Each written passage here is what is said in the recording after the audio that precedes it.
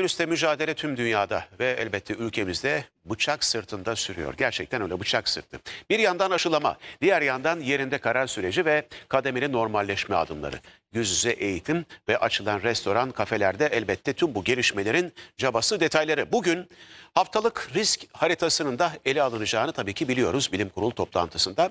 Ama bu toplantıdan çıkacak öneriler, tavsiyeler haftaya kabine toplantısında e, alınacak yeni kararlara bir zemin oluşturacak. Geldiğimiz noktayı konuşacağız. Sağlık Bilimleri Üniversitesi Rektör Yardımcısı Profesör Doktor Kemalettin Aydın hocamızla. Hocam merhaba, iyi akşamlar. Merhaba, iyi akşamlar, iyi yayınlar. Şimdi bugün yine önemli bir toplantı. Çünkü kademeli normalleşme sürecine girdikten sonra üzerinden işte yaklaşık bir hafta geçti. E, harita güncellemesi olacak mı olmayacak mı? Tabii 15 günde bir olacağını biliyoruz ama bugün de elbette o Türkiye haritası e, toplantının olduğu yerde açık olacak tüm detaylar değerlendirilecek. Hangi ilde ne kadar uyuldu? Şimdi e, tabii artık yerinde karar süreci de başladı ama uyarılar hafta boyunca ard arda geldi.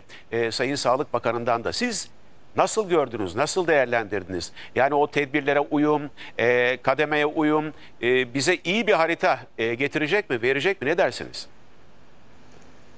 Kısıtlamalardan önceki halden daha tedirgin edici bir hale dönüştüğünü görüyoruz. Yani bunu e, şehirlerin ölçeğine göre e, farklı seviyelerde olabilir. Ama her şehir bir önceki duruma göre e, bir miktar gevşedi. E, bunun sonucu ne getirecektir derseniz e, kısıtlamalar e, kalkmadan önceki tabloya göre belirli bir oranda artış olacaktır.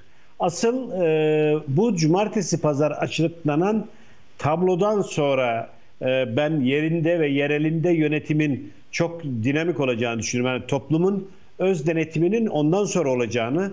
Çünkü ilk defa sarı gördü ilini diyelim. E, bu arada sarının getirdiği bir gevşeklikle kısıtlamaları fazla kaldırdı. E, bugün e, ya da önümüzdeki hafta sonu renk değişiminde turuncu olduğunda e, o zaman önündeki 15 gün toplum tümüyle bu konuyu konuşacaktır. Biz ne yaptık, nasıl oldu gibi ya da e, maviden sarıya döndüğünde eksiye gidildiğinde. Diğer illerde e, olumlu giden illeri örnek alacaktır. Örneğin kırmızıdan bir anda sarıya düşen bir il olabilir mi? Diyelim ki olduğunda o zaman geri kalan bütün iller o kırmızıdan sarıya dönüşün e, dinamizmini öğrenecek. Yerinde e, değerlendirmeyi öğrenecek. Ben o nedenle bu hafta sonu renklenen haritadan sonra e, yerinde ve öz denetimin çok daha güçlü e, ve ne yaptığını bilerek olacağını düşünüyorum. Şimdi hocam tabii işin bir tarafı da e, psikoloji ama diğer tarafı da ekonomi. Şimdi cumartesi günleri işte e, malum o kısıtlamalar e, kaldırıldı. E, restoranlar, kafeler açıldı. İşte okullarda, ilkokullarda, ortaokullarda yüz yüze eğitim başladı. Bunların hepsi elbette çok önemli. Ama şimdi bizde de toplumsal olarak şöyle bir şey var. Normal kelimesini duyduğumuz anda bir anda aşırı rahatlıyoruz. E, sokakları dolduruyoruz. Alışveriş merkezlerini dolduruyoruz. Restoranları, kafeleri dolduruyoruz. Ve ondan sonra... E, bir kısıtlama olduğunda eyvah diyoruz. Eyvah. E, hafta sonu cumartesi e, kısıtlamaları yeniden gelebilir mi? E, siz nasıl değerlendiriyorsunuz? Nasıl görüyorsunuz? Özellikle geçen cumartesi İstanbul'da e, yani her yer açıkçası tıklım tıklımdı. Yani onlar e, çok da kabul edilesi görüntüler değil. Ne dersiniz? Şimdi Kaan Bey iki türlü geri gelebilir. Birincisi hakikaten e, kentin rengi o kısıtlamaların doğurduğu kırmızı renge dönebilir. Evet. O zaman kırmızı rengin bütün direktiflerine uymak durumunda kalabilir kent. Ama şöyle de olabilir. Turuncu bir kent kendisindeki gidişatı iyi görmeyerek sadece cumartesi günkü kısıtlamayı uygulamaya alabilir. Ya da sokak kısıtlamalarını ya da belirli bir kalabalıkların olduğu yerlerdeki e, sokağa çıkmaları, HES kodu ya da sıkı kontrolleri. Buradan sonra bunları çok göreceğiz Kaan Bey. Yani kırmızının uygulamaları budur. Kırmızı olmadığı sürece bu uygulanmaz diye bir şey olmayacak. İcabında sarı bir kent belirli bir bölgesini kırmızı olarak ilan edip oranın kurallarını alabilecek. Örneğin ne diyoruz? Sarı bölgede 65 yaş üstü ve 20 yaş altı serbest diyoruz. Ama öyle bir sarı il olabilir ki gidişat hoşuna gitmez. Hastaların önemli bir kısmı 65 yaşın üzerinde insanlardan geldiğini görür. Onlar yük yoğun bakım e, yatak kapasitesini önemli bir oranda doldurduğunu görür. O zaman sarı bir kent olmasına rağmen der ki ben 65 yaş üstünü saat 13 ile 17 arasında serbest bırakıyorum diyebilir. Buradan sonra dinamizm bu. Yoksa bir kenti sarı boyadın, sarının kuralları neyse sadece sarı uygular diye bir şey söz konusu Yok. değil. Ee, böyle bir durum var. Ee, sizin de belirttiğiniz gibi e, toplum e, cumartesi gününü ve ondan sonraki günü e, çok e, bana göre e, arzu etmediğimiz düzeyde kullandı.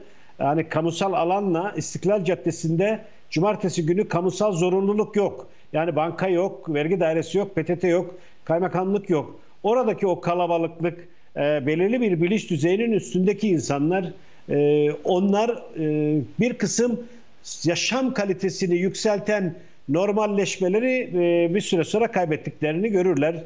E, mesela cumartesi günü İstanbul'da ben e, şöyle bir şey beklerdim.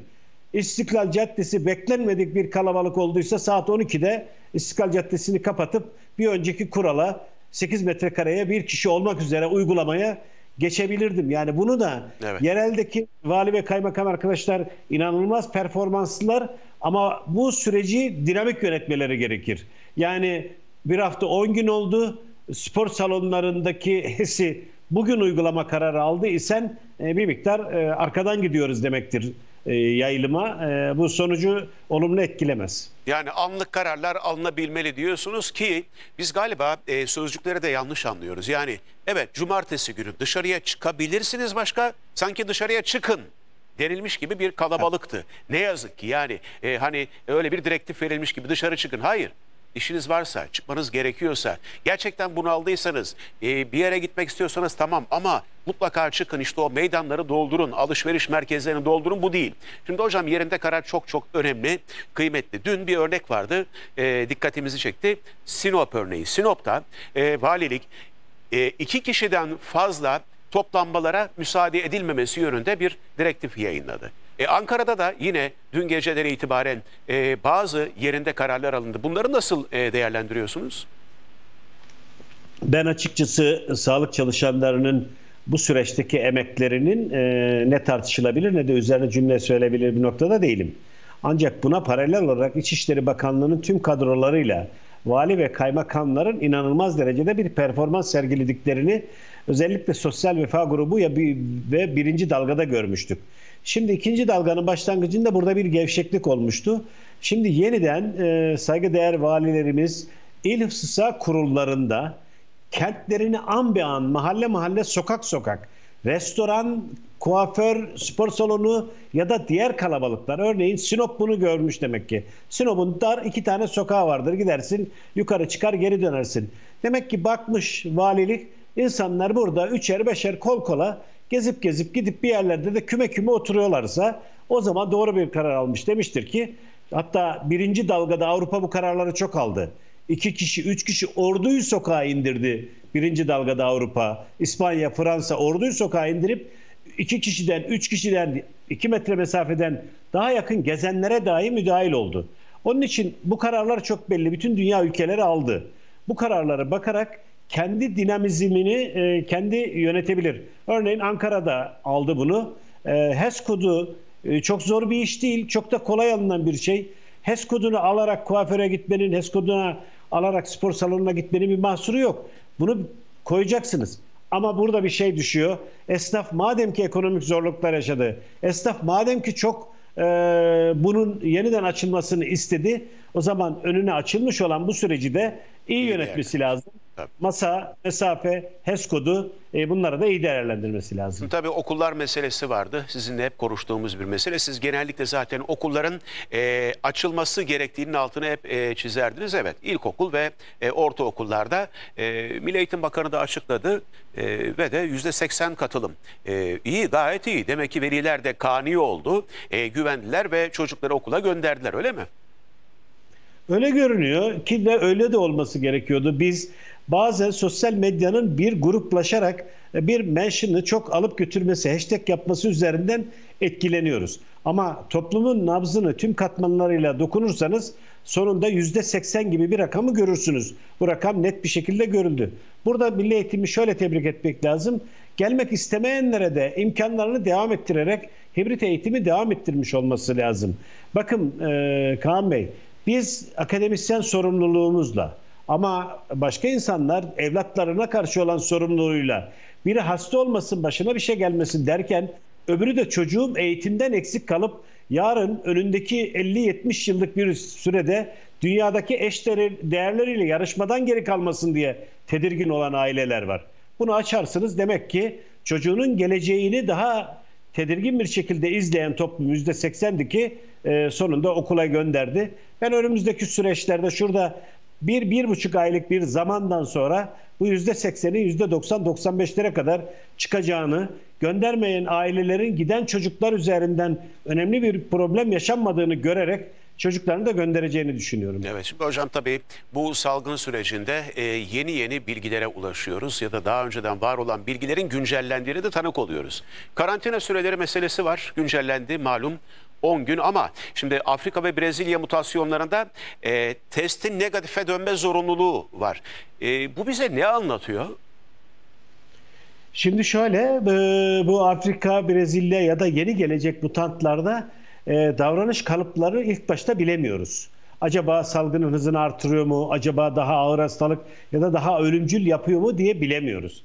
Bilemediğimiz için ona karşı belirli bir tedbiri sürdürmek zorundayız. Yani 8. günde biz 8. güne kadar indirmiştik. Ne diyorduk? Elimizde bildiğimiz bu tansuş 8. günden sonra bulaşı hemen hemen %95 oranında kalmıyor. İşe gidebilir, çalışabilir diyorduk. Ama şimdi bakıyoruz ki bu mutant suçlarda bu e, damlacığın içerisindeki virüsün varlığı 10 gün, 13 gün, 14 güne kadar devam ediyor. Ne kadar infekte edip etmediğini tartışamıyoruz. Çünkü evet. mutant bir suç bizi endişe edebilecek bir süreç sürdürebilir mi? Öyle olunca en başa dönüyoruz. Bu yeni virüsü de, yeni mutantı da tanıyıp onun özellikleri tam öğrenene kadar 14 günlük bir karantina sürecini artık bilimde uygun görmeye başladı yeniden. Evet şimdi bu Afrika e, ve Brezilya o zaman hala tam olarak vakıf olamadığımız suçlardan. Şimdi hocam bir de tabii e, mutasyonsuz hastalığı geçirdi bir kişi. Üzerinden bir 4-5 ay geçti. E, o antikor seviyesi düştü. E, bu sefer mutant virüs aldı. Yeniden hasta olabilir değil mi? Şu anki mutant suçlar ile bahsi geçen üç önemli mutant suçlar ile antikorlar varken hasta olunmanın hemen hemen e, çok düşük olduğunu görüyoruz. Onu kabul et, e, hasta olur diye kabul etmiyoruz ama şu söz konusu olabilir mi Kaan Bey? Yeni bir mutant olur ya da önümüzdeki mutant suçlar şöyle bir özellik kazanabilir. Bir önceki suça karşı oluşmuş olan antikorlarınızdan kaçıp sizi hasta edebilir. Bu önümüzde bir ihtimaldir ama şu an bu ihtimal düşük. Sizin sorunuz şöyle. Antikorlarımızı kaybedersek ileriki zaman diliminde 6 ay, 8 ay, 10 ay kişiden kişiye değişir. Antikorumuz ve savunma hücremiz yok iken virüsle karşılaşırsak yeniden hasta olabilir miyiz? Evet bu ihtimal var e, ve hastalık o nedenle de kış dönemine doğru yeniden e, bütün her bilgimizi gözden geçireceğiz gibi görünüyor. Evet şimdi salgının e, başlarında hep diyorduk ki işte maskeyi takalım ama o maske nemlendiğinde çıkaralım e, yeni maske takalım. Ama şimdi yeni bilgiler gösteriyor ki nemlenen maske daha da iyiymiş herhalde e, özellikle pamuklu maskelerde e, çünkü daha koruyucu hale getiriyormuş. E, bu konudaki görüşünüz nedir? Yani standartlara uygun pamuklu ve üç katmanlı olan maskeler için geçerli olabilir ama benim e, şu an için bu konuda bir e, çalışmayı derinlemesine okumuşluğum söz konusu değil. E, ek bir yorum yapamayacağım. Yani o fiberleri açıyormuş, o pamuk katmanlarını açıp daha da geniş bir e, koruma sağlıyormuş yapılan araştırmanın sonucu. O da hani bizim okuduğumuz e, araştırmanın sonucu ama tabii şu an size onu e, sunmam mümkün değil. Bu, bu, bu süreç şöyle güzel bir şey yaptı. Hayatımızda okuyabildiğimiz bütün zaman dilimizi bu salgın ve makaleleri okuduk ama medyada sizin gibi çok değerli insanlar bizden e, daha kıymetli makaleleri okuduğunuzun da ortaya çıktı bir tablo. E, bahsettiğiniz makaleyi ben okumadım ama evet. güzel bir şey. Şimdi hocam bir de e, öksürükten COVID'i anlayan bir uygulama e, yapıldı. Onu biliyorsunuz tahmin ediyorum. E, öksürükten %98 oranında e, Covid misin değil misin anlaşılıyormuş. E, bu konuda e, ne düşünüyorsunuz? Yani öksürüğün biçimi de demek ki ele veriyor Covid'i.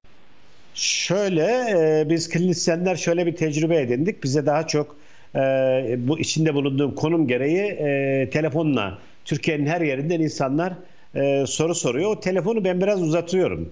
Telefonla konuşurken öksürük devreye giriyor. O bizim e, çok tipik kulağımıza oturmuş bir öksürük var. Konuşurken kelimeleri yutar, yutarcasına bir öksürük krizi değil ama konuşmasını kesen tarzda bir kesik kesik öksürük oluyor. Ee, o zaman söylüyorum evet sen e, Covid'sin diye. Çok e, bilimsel bir taban değil ama bir Evet. sans klinik dediğimiz bir tablodur. Konuşurken araya giren öksürük kelime tablosundan da evet e, kliniği düşünebiliyoruz. E, o kadar e, tecrübe edindik artık. Şimdi hocam bir de tabii riskli gruplar e, farklılaşmaya başladı. En baştaki o risk gruplarına bir de uyku apnesi olanlar e, eklendi. Bunun e, sebebi ne hocam? Ee, uyku apnesi ve uyku apnesinde kullanılan e, cihazlar başlarda çok soruluyordu biliyorsunuz. Onların temizliği ve diğer e, şeyler. E, uyku apnesindeki muhtemel nedenlerden birisi şu olur. O e, solunumunun durduğu andaki aspirasyon bir kısım reflekslerini kaybederek ağız boğaz bölgesindeki arka bölgedeki tükürük ve diğer e, sıvı maddelerinin hızlı bir şekilde akciğere aspire edilmesi gibi bir e, patoloji söz konusu olabilir. Evet hocam fazla da zamanınızı almayacağım ama son olarak şu aşı meselesini de sormalıyım. E, aşılamada e, fena gitmiyoruz, iyi gidiyoruz ama e, şimdi şu mesele vardı. Rus aşısı ki e, en baştan bu yana e, siz neden olmasın dediniz. Hatta sonrasında e, ortak üretim de konuşulmaya başlanmıştı. Baktık e, Avrupa'da birkaç ülkeyle e, yapıldı bu e, anlaşma. E, Türkiye ile Rusya arasında anlaşma yapılmadı mı yoksa acaba gerek mi kalmadı diye sorayım.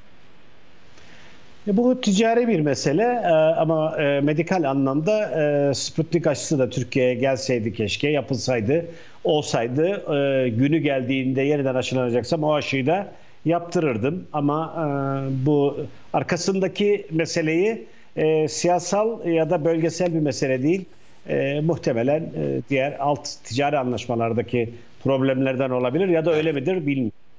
Peki. Profesör Doktor Kemalettin Aydın hocam çok teşekkürler. Zaman ayırdığınız için, bizi aydınlattığınız için sağ olun. Rica ederim. Akşamlar. Sağ olun. Evet, akşam haberlerine devam ediyoruz.